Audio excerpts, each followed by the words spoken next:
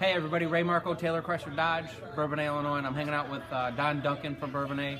Want to say hi to his wife uh, Sue at home, and we want to say thank you for your business once again. What'd you buy this time? Thank you.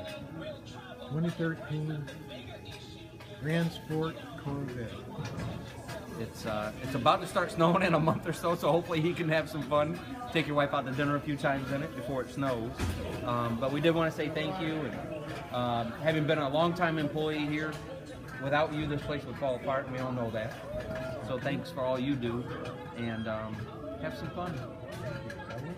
Anything you want to tell the world? we caught him off guard. All right, thank you.